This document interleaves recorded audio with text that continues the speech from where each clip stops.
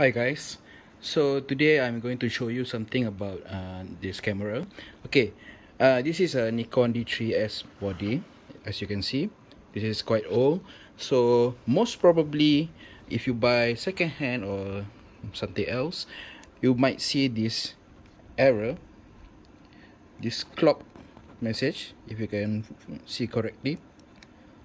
You see the blinking light. So it says the this shows that the error of the date and time. So whenever you shoot the photo for example if you shoot it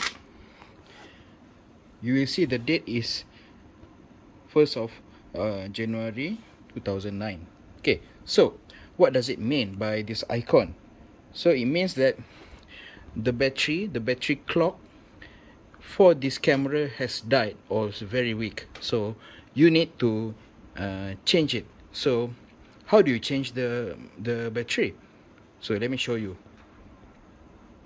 First you need to remove the battery compartment. First open this battery compartment and take out the EN-EL4 or EN-EL4A battery battery. Take this out. And then the uh, the next one is you need to open this battery compartment here. You see? There is a battery compartment there. Open the cover. You see? I open it.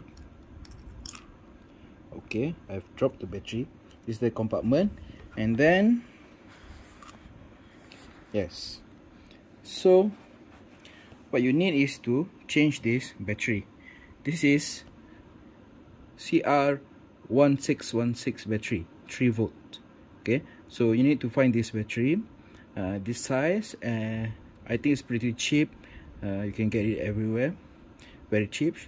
And then when you get the new battery put it back to the battery compartment. Make sure the label is on the top. Put it back.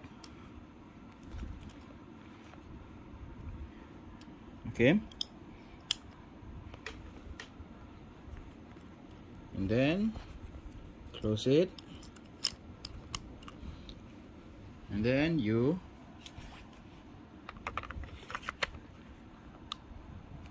close the battery compartment. There you go. You will get the uh, new battery inside the camera. That's all for now. Thanks for watching